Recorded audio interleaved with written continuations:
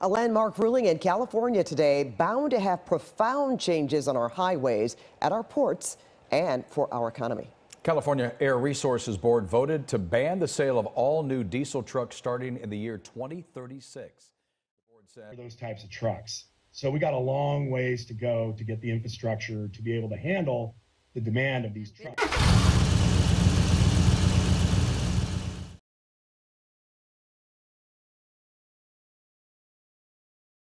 A lot of drivers, except for the people that live there, hate California because California in the US is like Fort McMurray in Canada. They are the steerheads for everything. And California is trying to shut down emission trucks. In my thoughts alone, it's a big cash cow for that emission system. Oh, just give me my money. just give me my money. Just give me my money. Hey guys, welcome back to Motivation and Box Trucking. When you ask drivers about California, there's a laundry list of reasons given for why they hate California.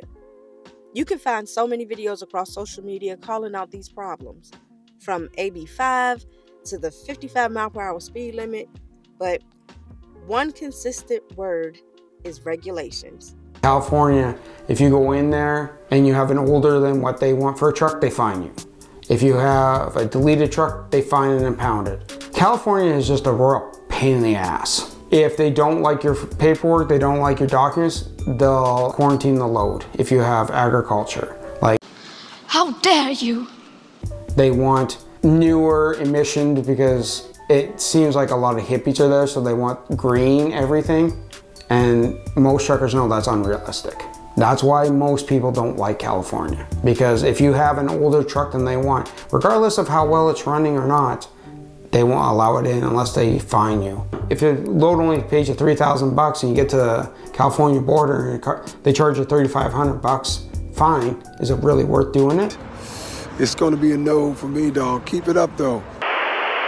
In California today, bound to have profound changes on our highways, at our ports, and for our economy. California Air Resources Board voted to ban the sale of all new diesel trucks starting in the year 2036.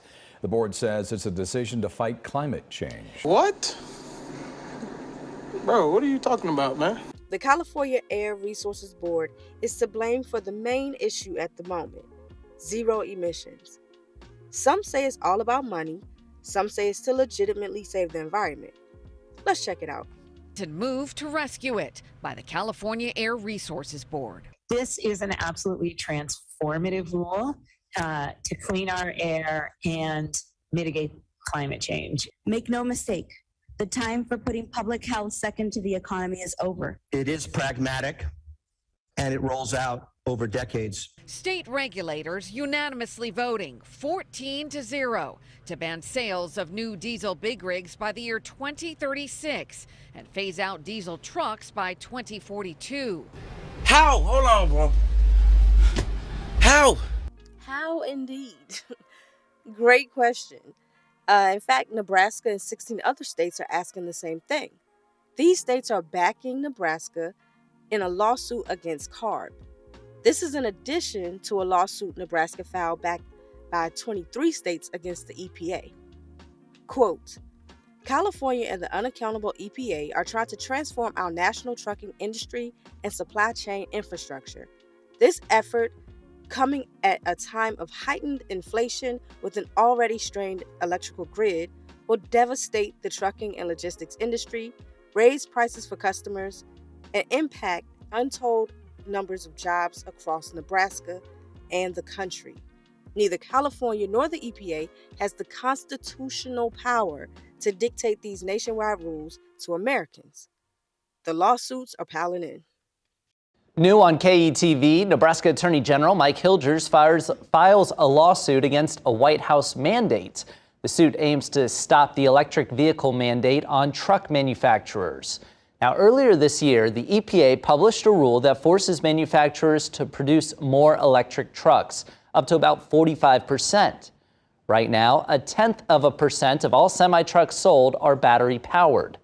The Attorney General argues that the mandate would short circuit the ongoing policy debate that should be left to Congress. Nebraska is leading the 24 state coalition against the mandate which also includes Iowa and Missouri.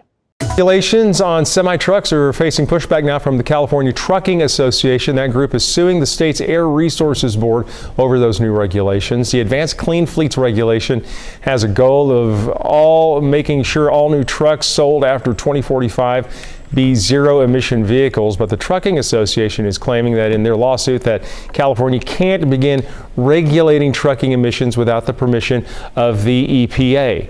Now, the association is asking the regulations be declared invalid and contrary to law. They're also asking for an injunction stopping CARB from enforcing the regulations.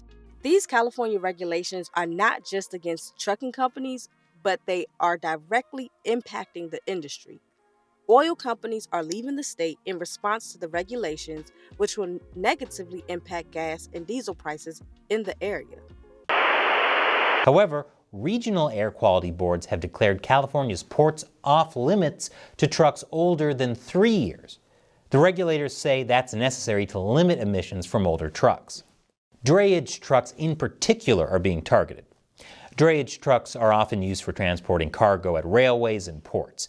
They don't need to go very far and they have more downtime for fueling, which makes them more feasible for electric trucks that need to be recharged often. So new trucks are going to be moving into these neighborhoods and pushing out the trucks that have been there. This is how gentrification starts. Before long, it's going to be nothing but star trucks in that area. But there are concerns that California's green energy ambitions are too rushed. Critics say that there isn't enough electric charging capability or even electric grid capacity.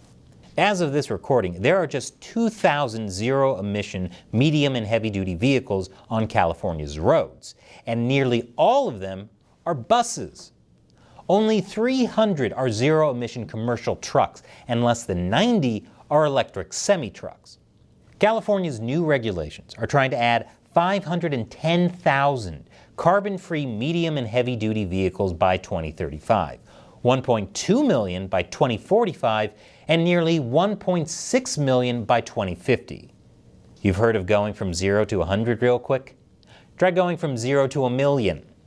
It's the biggest piece of dog shit. If California keeps this up, they will reach their zero emissions goals because most of the companies will leave the state and nobody will be able to afford to drive their cars anywhere. Tell me what you think. Get the conversation started. Remember to join the Patreon. Until next time, stay safe and stay motivated.